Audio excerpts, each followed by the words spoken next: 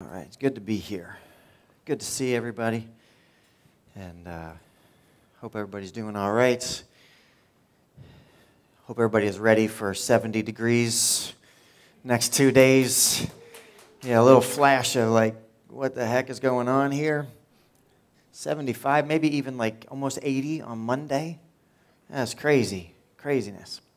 Anyway, it's just good to be together. Um, I don't know how many know like what a pastor actually does. Oop. That was. Do we have that on video? I'm gonna send that to funny videos. That's a good one. That's pretty good. Yeah, that was. Now for my next trick. Look over here. Yeah, I don't know. Uh, thank you, Danielle. Appreciate it. Today is a new day, and you never know what's going to happen. Um, so, yeah, I don't know. You need, that, yeah, well, pay no attention to the woman behind the banner. um, so let's try that again for the video, right? Now, um, so my job as a pastor, what do I do all day? It's a good question. People wonder what I do all day. Um, I wonder what I do all day. Been doing it for a long time, though. So whatever it is, I've been doing it for quite a while, almost 20 years. Isn't that a long time? It's a long time to be doing something. 11 years here at Lifetree. Um, but there's one word that kind of jumps out in Scripture about what ministers do, pastors in particular, that my job is to equip. It's, a, it's an interesting word to equip. What does it mean to equip things? And so there are kind of four like key areas that I would, I would you know, define for myself about what that means that I, I, gained from somebody else. I heard another pastor teach on it. I was like, oh, that's really good. And you may have heard me share about this before, but there are four different ways that as a pastor I can equip the church, you, people, to grow in our relationship with God, to do the work um, that God has called us to do on this earth. And the first is this to heal what's broken. The idea of like mending a net. Think of like a fisherman, like if I'm trying to catch fish, but the net is ripped, and you pull it up and the fish just swim through the hole, right? not very effective. So, to mend the net, to repair what's broken. So, it's asking the question where are the areas of brokenness? And what can we as a church, how can we help heal what's been broken? Right? There are times in our lives where we all go, I'm broken. But God can heal what's broken. So, how can God use me to do that? The second is to restore what's been taken. There are times where the enemy will take things from us. He'll take our joy, he'll take hope, He'll take peace. He'll take our security, our foundation. He'll take all those things from us, our dreams. And God says, hey, I'm going to equip pastors to restore what's been taken. So one of my, one of my gifts, one of my, not gifts like I have it, but one of the things I get to do is I get to help God restore back what the enemy may have taken. The third is to prepare. Think of like preparing a ship for a journey, right? The ship is going to go out for like across, you know, across the ocean. Right, it's going to need supplies, it's going to need food, it's going to need fuel, you know, medical, radio equipment, all sorts of stuff. Right, lifeboats. And so you're going to load all these things into the ship, knowing that along the way you're going to need these things. So one of my jobs, again, as a pastor, is to say, okay, what are you going to need for the journey of life? And how do I prepare you? How do I help you have those things? Yeah, you tracking with me? Is this making any sense? Yeah, maybe a little bit? Okay, okay. Hope so. Um, and if not, it doesn't matter because um, nobody else knows what I do anyway. Um, but those, that's the third. And then the last one, the fourth one, is to train like a soldier for battle. Like there are fights you're going to face down the road. And my hope and my task is to make sure that you have what you need to meet the demands of those battles. That you won't walk into those battles and go, I have no idea how to fight here. I'm overmatched. I didn't expect this. So, to help you anticipate, these are the battles that are going to come. And I'm going to help train you. Guys called pastors to help train people. So, pastors heal what's broken, restore what's been taken, prepare for the journey, and train for battle. Those four things. And so, this is a little bit like kind of behind the curtain a little bit about what I do. Every time I go to preach a message or pre- prepare messages, I'm always thinking, what's this one? Is this, is this a heal what's broken message, or is this a uh, restore what's taken, right? Is this a prepare for the journey message or is this a train for battle message? And it's each one of those. So the reason I tell you that is we're starting a new series tonight. And it's a it's one of these series that it's going to be, ready, drumroll, which one? It's going to be a train for battle. That's what this is going to be about. This is a, hey, there are some fights ahead of you. Um, to be honest, you may actually be in the fight right now. Most likely, we're all in the middle of these fights. Um, but so it's a now and coming in the future, you're going to have both. And so, my goal for these next few weeks is to help say, here, I'm going to just give you all the weapons you're going to need to fight these battles, and that you can come out of them and say, all right, we've successfully conquered these. They haven't defeated me. God has given me what I need to walk through this. Right, does that make sense? All right, so just to kind of set expectation about what we're going to be talking about. So to get there, I kind of just need to do a quick history lesson to kind of frame where we're going to go with the story, and then I'll get there. So you remember, like way back in the beginning, right? God spoke to Abraham. We just kind of did this series, promises, right? God says to Abraham, "Hey, I'm going to send you out. You're going to be a blessing to all people." He's one guy. I'm going to make a nation out of you. Fast forward, right? You get Isaac and then Jacob and then all the down Joseph, and then Joseph brings right. Joseph ends up in Egypt, and then you know they kind of Abraham's descendants kind of begin to grow, like and sort of populate here. And they, they, when they showed up in Egypt, there was just a, a few of them, like maybe you know 50, 60, 70 folks in there, right? And then when they now they're in Egypt, and then they become right? The Pharaoh dies, and then the next king comes along who doesn't know anything about Joseph, and then they say, hey, these people are they're growing a lot. Let's enslave them. And so for 400 years, the descendants of Abraham, which we know are the Israelites, right, the children of Israel, they're now becoming sort of like this nation without a leader, without a, without a place, without a home. They're enslaved 400 years. They're just living in Egypt as slaves. And then, you know, they kind of fast forward, and Moses, God sends Moses, I'm going to deliver you. I'm going to get you out of, I'm going to, I, that promise I made to Abraham, I'm still working on it. It's still coming. It's just a long promise. And so Moses, you know, says, okay, we're going to lead them out. We know the whole story. I'm not going into it. Just you get the idea. He leads them out. And so now they get out of Egypt. They cross the, the they get into the, the desert. They're going on their way to the promised land. And God says, okay, as you're on your way, I just want to give you some, some rules, some guidelines for how to be in relationship with me, right? Over these next, now this new season of life for you, now that you're no longer slaves, this is how you get to worship me. And he gives Moses on a mountaintop, and he gives Moses what? The 10 commandments, right? He says, here's how you're going to do it. And these are really terms of a covenant. Here's how to be in relationship with me. You know, when bride and groom stand there and they say, Do you, right? Vows. You make promises to each other. These are terms of the relationship. I agree to do these things and you agree. This is how we're going to stay in relationship and it's going to work. Right? And so God is saying through the commandments, this is how you're going to stay in relationship with me. It wasn't just do these things and you get points. It was this is how it's about a relationship. So he gives them to those right? And I want to zero in on the second commandment. Okay, get up there. So now they're here. Second commandment. Uh, we can read it in Exodus chapter 20, uh, verse 1. And this is what it says. It says, Then God gave the people all these instructions, commandments, right? And he says, I am the Lord your God who rescued you from the land of Egypt, the place of your slavery. Right? So here comes the first commandment, right? First one is this You must not have any other God but me, right? That's the first one, right? No, no other gods, right? The second one here, he says this You must not make for yourself an idol of any kind, or an image of anything in the heavens, or on the earth, or in the sea. You must not bow down to them or worship them, for I, the Lord your God, am a jealous God who will not tolerate your affection for any other gods. All right, so we're going to zero in kind of here on this second commandment. Throughout Scripture, God is really loud, really loud about the danger of idols.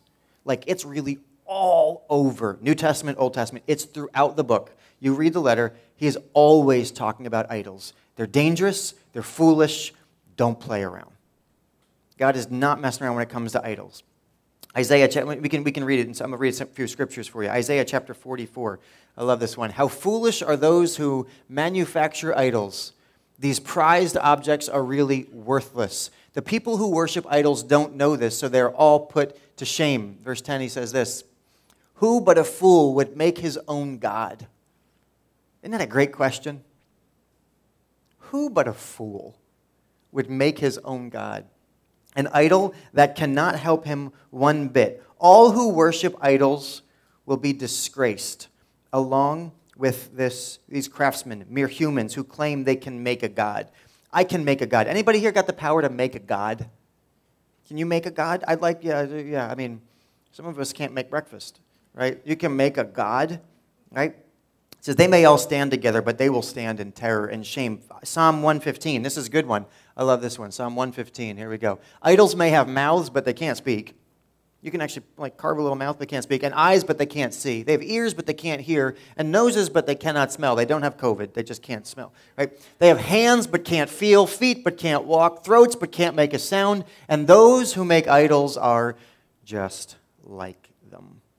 Ouch! As are all who trust in them. God is emphasizing here the futility of idol worship. It's foolish. It's nonsensical. And it, but here's the thing that's so crazy about it: it keeps happening. It keeps happening. And here's what makes idols so dangerous. Like, as God was giving the children of Israel, is that God was on the mountain giving Moses this commandment?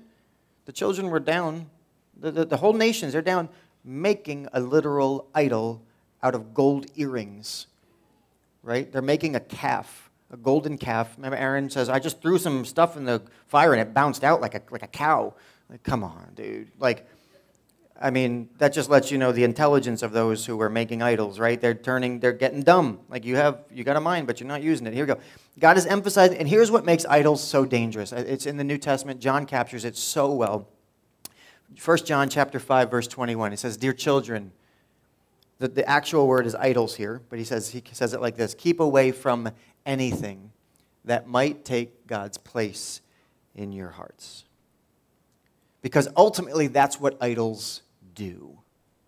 They take God's place in your heart. The calf was never meant, they were never going to be like, hey, let's worship cows. It wasn't about that. They just wanted something they could see that was going to represent God.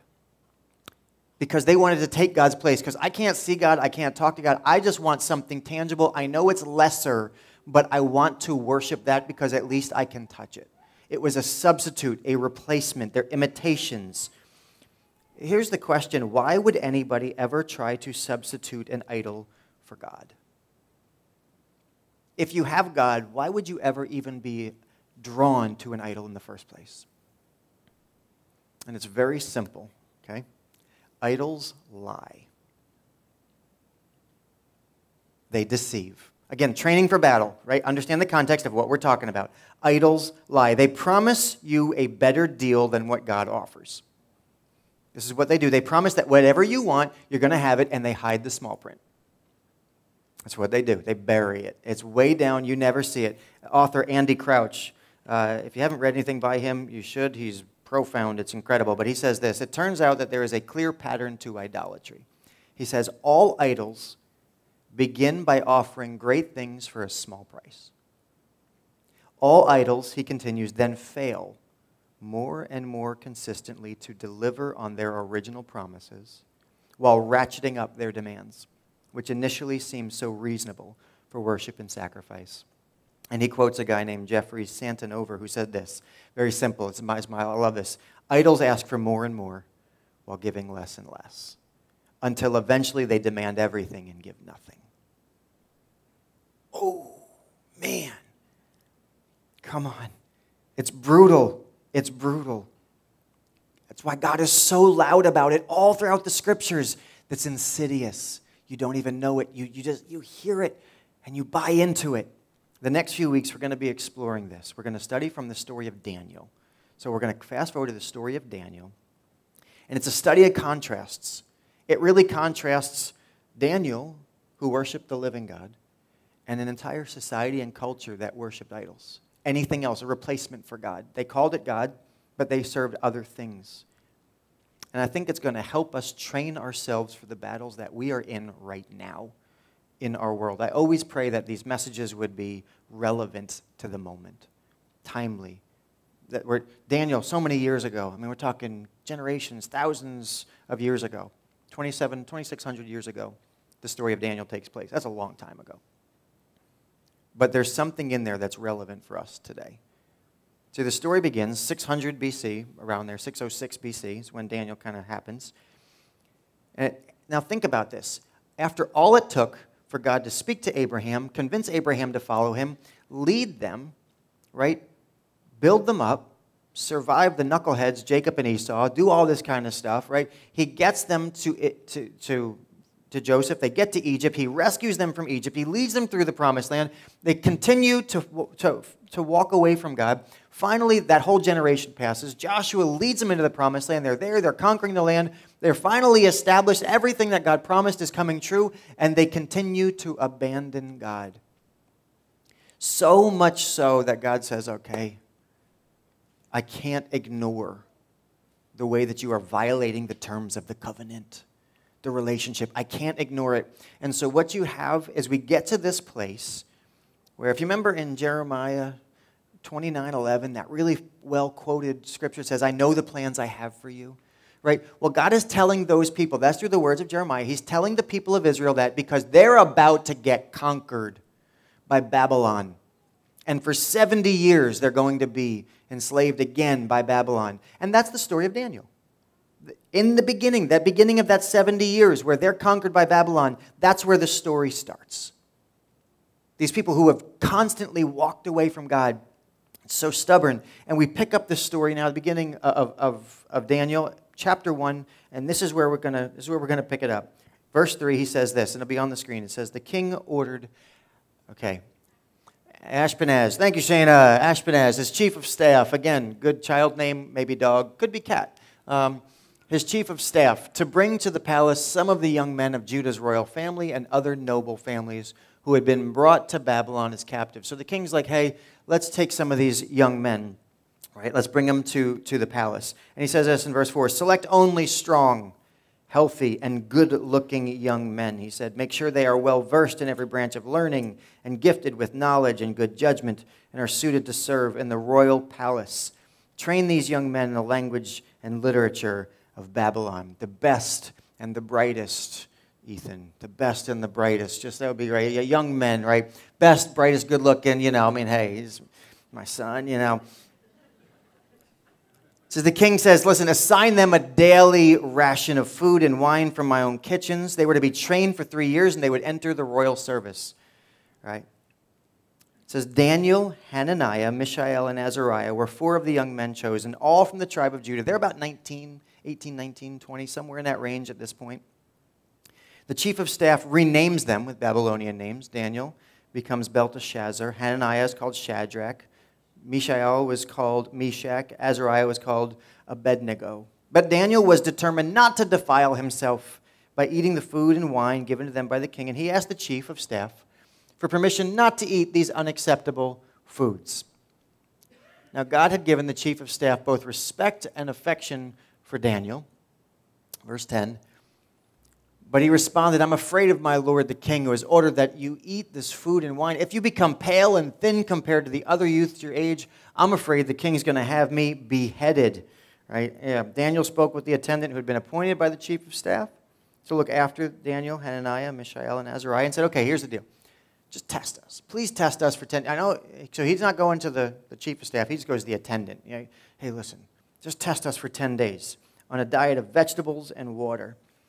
At the end of the 10 days, see how we look compared to the other young men who are eating the king's food. Then make your decision. Listen, pay attention to this in light of what you see. The attendant agreed to Daniel's suggestion and tested them for 10 days. At the end of 10 days, Daniel and his three friends looked healthier and better nourished than the young men who had been eating the food assigned by the king. So after that, the attendant fed them only vegetables instead of the food and wine provided for the others. And God gave these four young men an unusual aptitude for understanding every aspect of literature and wisdom. God gave Daniel the special ability to interpret the meaning of visions and dreams. When the training period ordered by the king was completed, the chief of staff brought all the young men to King Nebuchadnezzar. Almost done, wrap it up. The king talked with them, and no one impressed him as much as Daniel Hananiah, Mishael, and Azariah. So they entered the royal service. And verse 20 wraps it up. Whenever the king consulted them in any matter requiring wisdom and balanced judgment, he found them ten times more capable than any of the magicians and enchanters in his entire kingdom. Just pray for a moment. Heavenly Father, as we look to this text, as we understand this story, God, train us, prepare us for the battles that are to come. Let us not fail to prepare ourselves adequately and give in and succumb to the enemy that seeks to take us down, to minimize our effectiveness, to separate us from you. God, train us for battle. Amen. So I just like to compare for a moment Daniel with the chief of staff. Okay? The chief of staff just wanted Daniel to do what everybody else was doing. Just do what everybody else is doing. I don't want to eat that. I don't care. You're going to do what everybody else is doing. Right? My orders, I don't want to lose my head. So you're going to do what everybody else is doing. He wanted the king to be pleased with the product that he was delivering, that these young men look good. He didn't want there to be any blame on him, that he didn't follow the, the process, the, the, the order. They're going to do what the king says to do, they're going to conform, and I want, I need that. The chief of staff expressed concern for one thing above, above all else. Ready? It was this he wanted the approval of the king. That's what he wanted. And he wanted to make sure that others approved of his work the Babylonians here greatly valued aptitude and competence. And you can't blame them. That sounds good. How many think competence and like that sounds pretty good? Would you like to hire people that are, you know, low on aptitude and competence? Would you like to work with people that are would you like to work for people that are low in aptitude and competence? How many have? No, don't raise your hand. Don't, don't raise your hand. Okay. It's not a bad value. It's good to value aptitude and competence and those things. There's nothing wrong with that. But because the chief of staff so valued approval, he was set on Daniel conforming to what everyone around him was doing. You're going to eat what everybody else is eating, you're going to go through the same stuff. Now, Daniel was also concerned with approval, but it wasn't the king's, and it wasn't the chief of staff's, and it wasn't even the attendant's approval. He was concerned with what God thought. Very simply, it's a study in contrast. He cared what God thought, and he refused to violate what he thought was right just for the approval of the king. I'm not going to do that. I, I don't, he didn't care that much. It was clear who he valued. And here's what's ironic he elevated God's approval over the king's approval, and he got both. He got both. And here we find our, our first idol. We're doing a series called American Idols, right? This is what we're doing American Idols. And the idol that we find here is the idol of approval. The idol of approval. It's rooted in the opinions of other people. How many are going, I've heard this. I know this. There's nothing you're going to tell me that's new. And maybe not. Maybe you've heard all this before. But I feel like this is a timely message that we need to hear today. There's a few questions that I think would help us understand this idol a little better than perhaps we, we think today. What does the idol of approval promise? It promises validation. That you will feel accepted and valuable and worthy. And who doesn't want to feel accepted? Right? Who doesn't want to feel like, oh, I, I got the pat on the back. I did a good job. It makes us feel good. I mean, there's chemical things that happen in our brain when we're, when we're accepted, when people approve of us. There's things that happen. You, it's, it's good, right? You get more with sugar, right, than with, right? There's something about parenting even we know this you, you want to reinforce your kids with positive stuff there's something about approval and encouragement it's not bad there's something in there for daniel It was clear that the approval of the king was a matter of life and death if the king didn't approve of daniel he was going to die he was just a captive from babylon he wasn't anybody special he shouldn't even be here he was only there because apparently he happened to win the gene pool lottery he looked good he was young born at the right time that's it He's trained. If the king approves, all's going to be well. If the king doesn't approve, we don't hear about Daniel. The idol of approval promises validation, but here's what it demands of us. Here's, what, here's remember that it promises much, but here's now that, that small print. What does it demand from us? Well, the first thing it demands from us is conformity. You're going to do what everybody else is doing. You want approval, you're going to do what everybody else is doing. Daniel was expected to eat and learn and grow just like everybody else. Just do what everybody else is doing. And the second part of that conformity piece is comparison. Look around. You need to, I'm going to compare you to everybody else. How do you look in relation to those all around you? So, so here's what it demands it demands conformity and it demands comparison. When it seems to be working for everybody else, hey, listen, it's working. Comparison and conformity, those are some powerful things. Hey, it's working for everybody else. Why do you got to be different? Just do what everybody else is doing. You want my approval? Fit in. And here's where the idol begins to fall short because we know this. We all know this. We've felt it. We've experienced it. The idol, the approval of others, is arbitrary and it's unfair. It makes unqualified people your judge. See, when we worship approval, we seat other people on the throne of our life. We just go, okay, you tell me, how am I doing? You tell me what I'm worth. You tell me. And we put the power in the hands of somebody who maybe today they like us and tomorrow they don't. You ever, ever meet somebody and you go, they're a nice person. The next time you see them, you go, I don't know what I was thinking. They're not nice. I don't like them as much today as I used to. Like, we, we're fickle. We change. We go like that. We know we are more than what is seen, but it doesn't matter when approval is your idol. As if we needed any more examples. I mean, our world constantly gives us examples of how approval is a brutal idol because it's never enough. You read the news the last month, there have been two beauty pageant winners who have taken their own lives in the last month. Young ladies.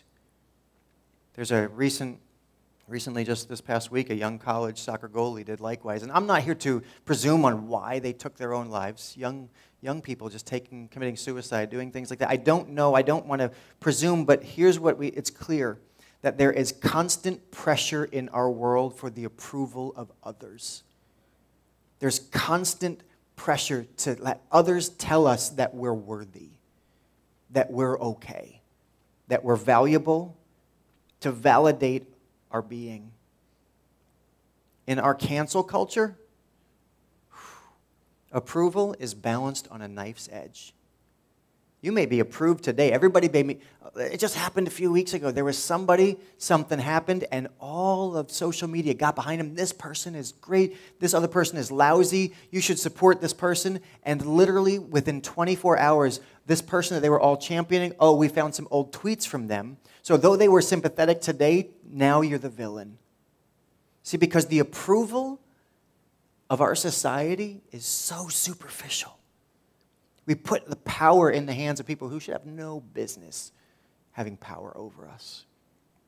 We live in a world that seeks to convince us that their opinion of us matters and that we need their approval. It's an idol, and we need to refuse to bow to it. It will promise you everything and deliver nothing. It will demand more and more and give less and less. As smart as we are, as smart as we are, we'll go, yeah, I don't, we all know this. We all know this. I don't bow to the idol of approval. None of us do. None of us do. Listen, every single day that idol comes back. It doesn't matter how old you are. The older we are, it doesn't get easier. It's not like now that I'm old, nobody, I don't care about the approval of others. At every stage of our life, we care about approval. We can be tempted to seek approval for what we stand for. If we seek the approval of the right or the left, you can have it. If you will say this, do that, defend this, attack that, celebrate those things, I'm telling you, you can play the game and win the approval of whatever demographic you want if you will say the right things. Ask yourself, am I doing this because it's right or because I'm just trying to seek approval? There can be a temptation to seek approval for what we have. If we seek the approval of our peers, you can get it. You want the approval of your peers? You can get the approval of your peers. All you got to do is buy this, go there, attain that. Homes, cars, clothes, wealth, whatever. There can be the temptation to seek approval for what we do. If we seek the approval of those we consider ahead of us or superiors in any way, we can get their approval if we'll sacrifice these things, if we spend that, if we help do that, if we, if we stop doing this. Listen, just work a little more. If we can seek approval for our children's successes, we can try and say, hey, listen, I want to be validated by what my kids are doing. You know, and so we celebrate it all the time, you know, like I'm not, I'm not judging anybody, right? We've got all the stickers though on all of our cars. My kid's an honor roll student. Well, my kid could kick your honor roll student's butt, you know. We got like everybody's like trying to. These are my kids, and we're trying to seek approval from other people based on what's on our cars. We seek approval based on our physical fitness, on how we've the vacations we've gone on, right? Let me let me tell you about my thing. Is like, listen, we're constantly playing to an audience of others. Even the approval for what we give and serve we're constantly, oh man, you see people trying to take, you know, hey, look at all the good I'm doing. Thank you for telling me. Thank you for telling me. How about you just do it? Because it's right, not for the approval, not for the credit. When we worship the idol of approval, we have to continually keep up with the demands, the demands of acceptance. It makes us a slave to the opinions of others. Okay. But there's hope. But there's hope because we have a true source of approval. There's a true source of approval. I love Daniel's name. It's my name. it's a good name. I've talked about this plenty of times. Daniel means God is my judge. They changed his name to Belteshazzar. Daniel's got a better ring to it, you know. Belteshazzar might be my fantasy football name next year, so. It means this it means Bel, B E L, is my protector. Bel was their god in Babylon. Daniel means God is my judge. El, El is God, Elohim, El, right? So God is my judge, the Hebrew God. This is that God. And they tried to change and reframe his name in a way to attempt to reframe whose approval matters. And here's what Daniel shows us God is the only worthy judge of our lives.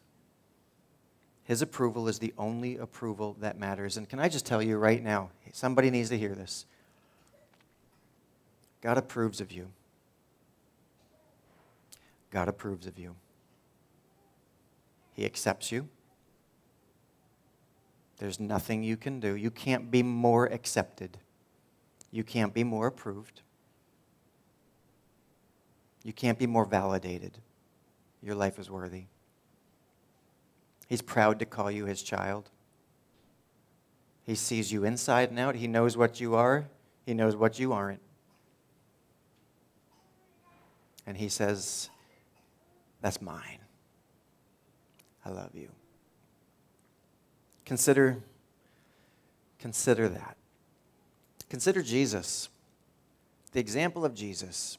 Philippians chapter 2 says this You must have the same attitude that Christ Jesus had. Though he was God, he didn't think equality with God as something to cling to. Instead, he gave up his divine privileges. I love this. The New King James Version, sometimes King James works, it says this He made himself of no reputation.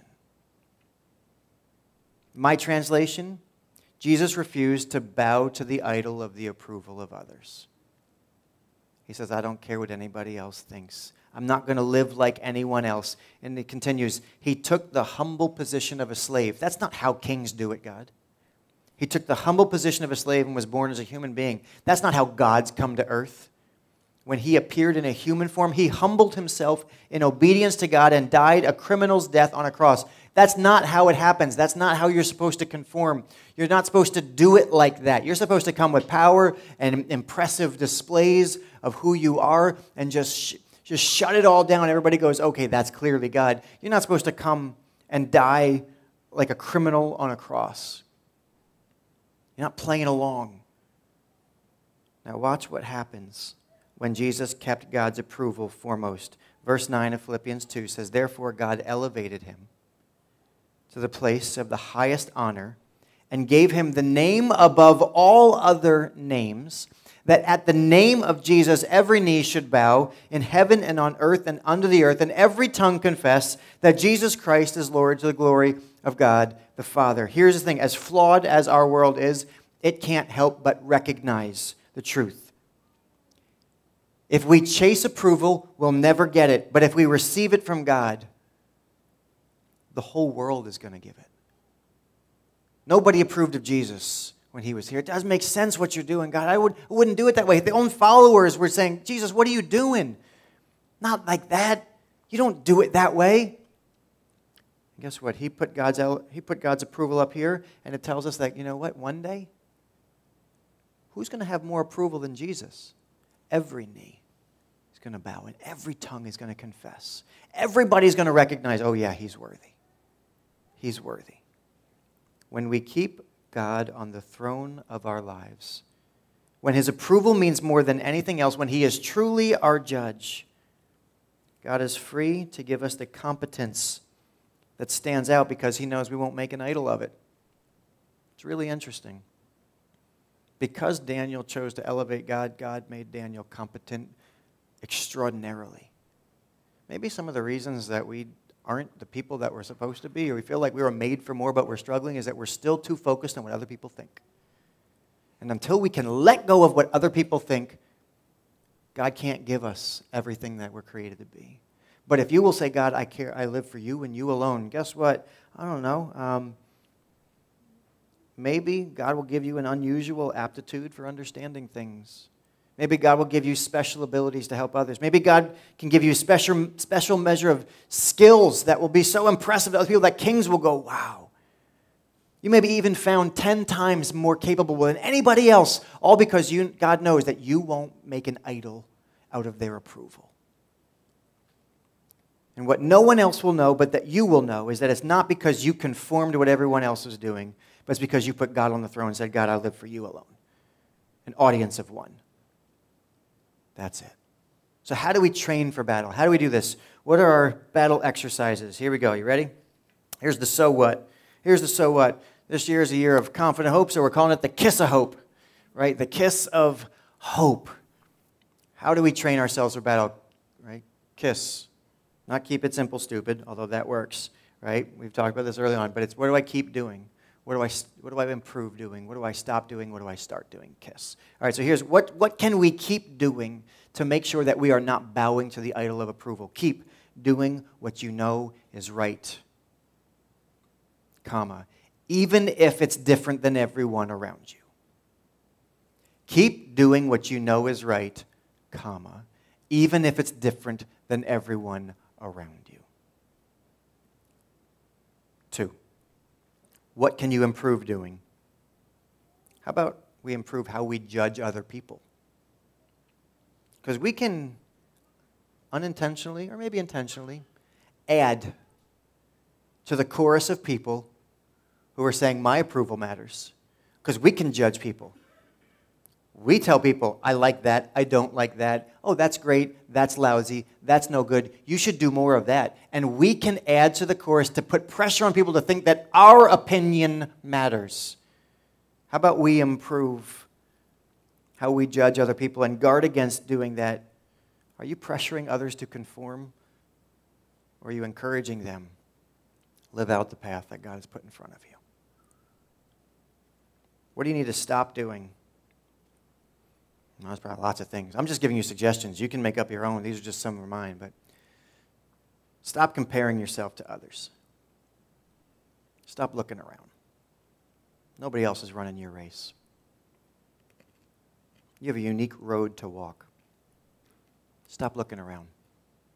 Stop bowing to the approval of others. Stop listening for their affirmation. We do it all the time all the time, and we feed off of the affirmation of others.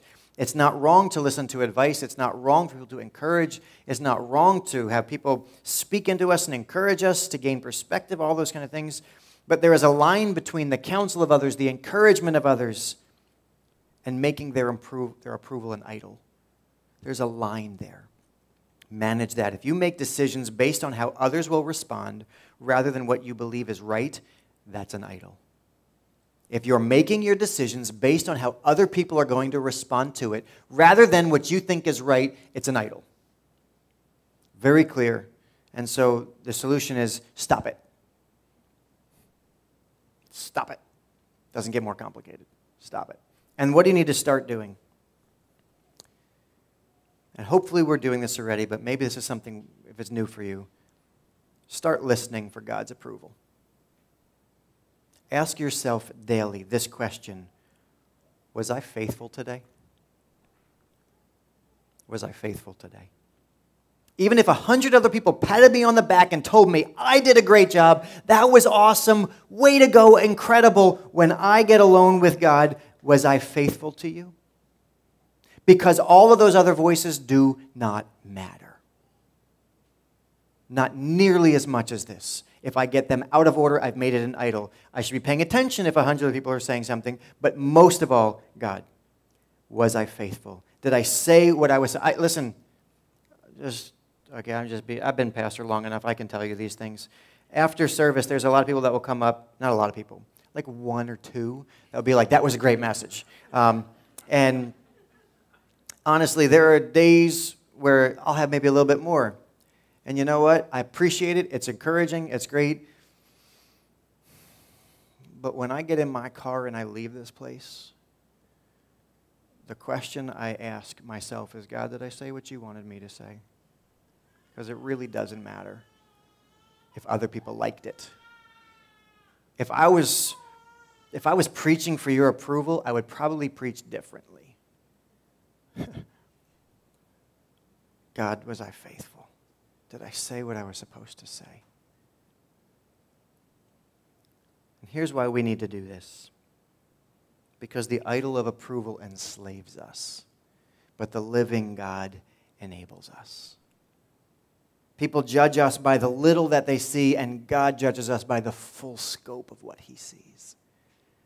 We get to go to sleep each day knowing that we are valuable and accepted and full of God's love. I'm telling you, freeing us from the idol of approval, oh, it's liberating.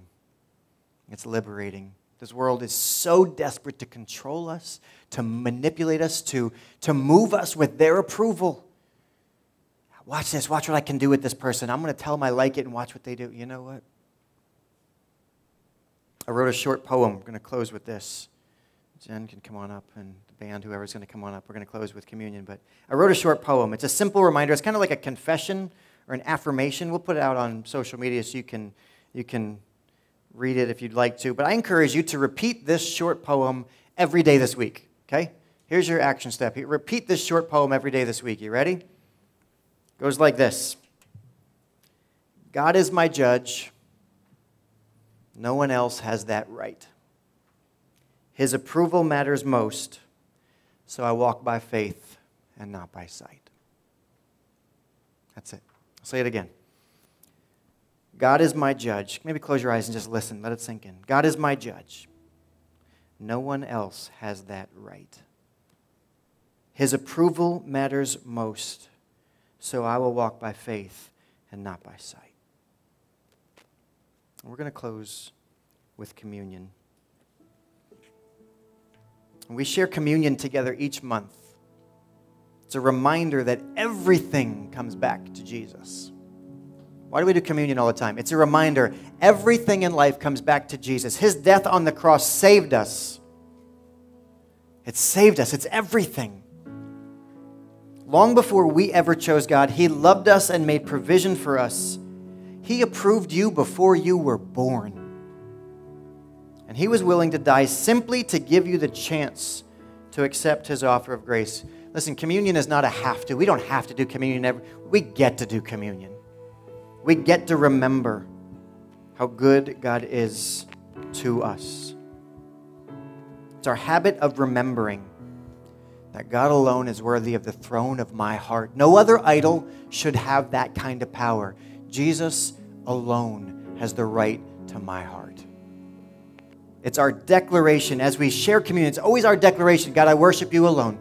It's a reminder you died for me, nobody else did. Nobody else has the right to tell you what you're worth because they didn't die for you. he did. The God of all creation is our God, and He approves of us. I just want to take a moment, invite you just to reflect on that for a minute. I'm going to ask Jen. She's just going to sing a song just a, once or twice through this song mm, just puts into words so much of what we've talked about. So I ask you to listen, reflect, let God speak to you, and this just examine your heart. If you've perhaps found yourself as, as I was talking, and God was just speaking to you, saying, Yeah, the idol of approval is an issue for you. Listen, it's an issue for me. Just confess that. Say, God, I need you to work in me. Forgive me. Lord, release me from the power of that idol. And help me instead to put my hope in you alone. You, you are my judge. Your approval only matters. So I encourage you to take a few moments as Jen sings and let God speak to you. And I was a wretch. I remember who I was. I was lost. I was blind. I was running out of time. Sin separated. The breach was far too wide. But from the far side of the chasm, you held me in your sight. So you made a way across the great divide, left behind heaven's throne to build it here inside. And there at the cross, you paid the debt I owed, broke my chains, freed my soul. For the first time I had hope. And thank you, Jesus, for the blood applied. Thank you, Jesus, it has washed me white. Thank you, Jesus, you have saved my life. You brought me from the darkness into glorious light. You took my place, laid inside my tomb of sin. You were buried for three days, but then you walked right out again. And now death has no sting, and life has no end. For I have been transformed by the blood of the Lamb. And thank you, Jesus, for the blood applied. Thank you, Jesus, it has washed me white. Thank you, Jesus, you have saved my life. You brought me from the darkness into glorious light. And there is nothing stronger than the wonder working power of the blood. The blood that calls us sons and daughters. We are ransomed by our Father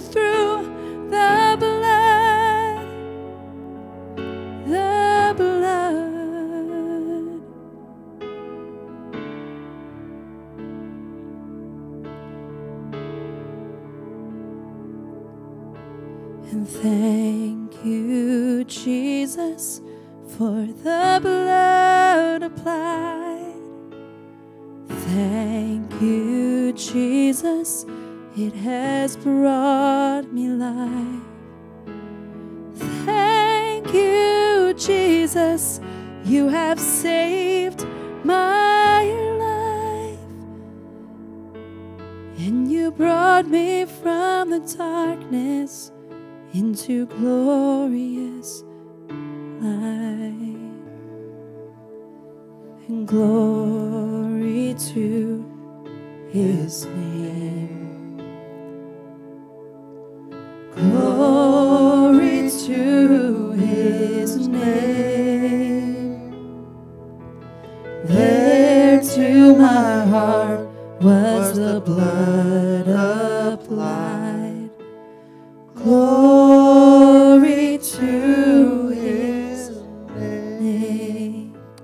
everybody to sing that. Just sing that. Just lift your voices.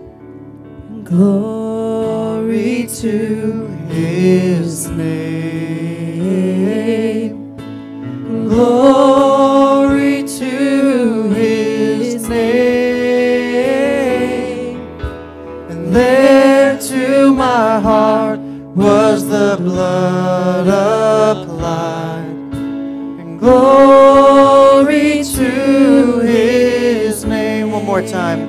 His name.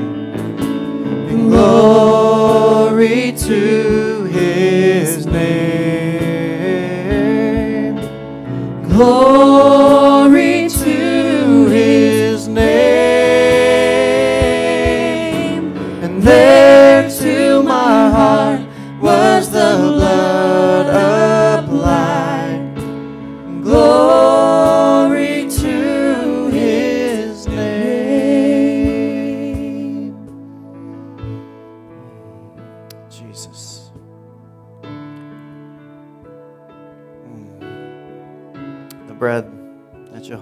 represents his body. He suffered because he did what was right over what was popular. Every time we take communion, it's a reminder that Jesus did not play to the crowd.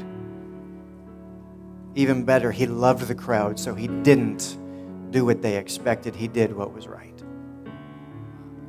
Just hold that in your hands. In this moment, God, we thank you for this symbol, this representative of, of your great sacrifice for us, of your great love for us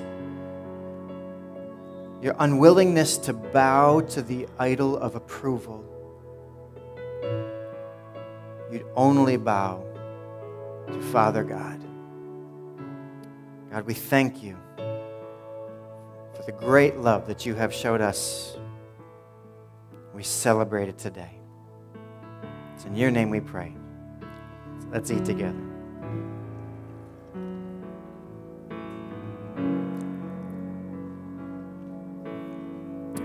Cup represents his blood. He promises that we are approved, that we are accepted. Just hold that in, the, in your hand this moment. Heavenly Father, we thank you for the cup, for, your, for the, the blood that sealed the promise. The promise that says we are accepted. Lord, as, as unworthy as we might feel, there might be those right now saying, I, I'm not worthy of anything. God can't, you can't approve of me. You, I've done too much wrong. I've done too I've walked away. I've violated too many times the covenant between me and you, God. There's so many things I've done. God, I've ridiculed you. I've I've made jokes. I've walked away. I've turned my back countless times. Guys, you can't accept me. That blood, that cup represents the promise never fails. There's no place that our sin can take us that God cannot redeem us from. There's no depth too deep, no height too high, no distance too far, no darkness too dark. The power of His blood is effective. Every single life forgiven. God, you approve of us because you love us, not because we're worthy on our own, but because you love us. We thank you for the cup that promises us that we are loved. We are your children. We remember and celebrate that in this moment. In your great name we pray. Amen. Would you drink together?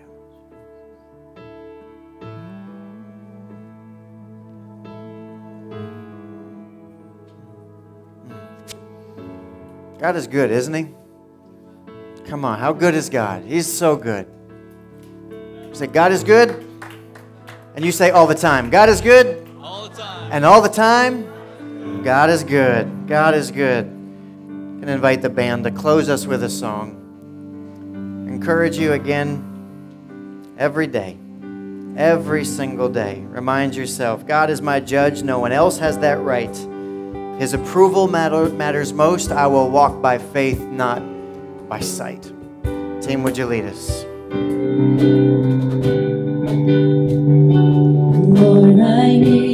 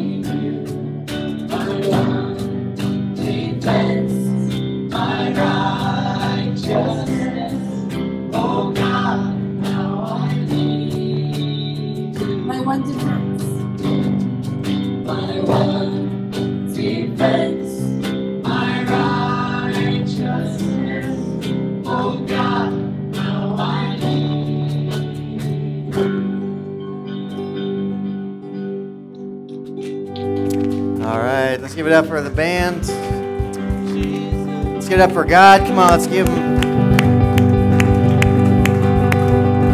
God, we thank you for your great love for us as we walk into this week, Lord.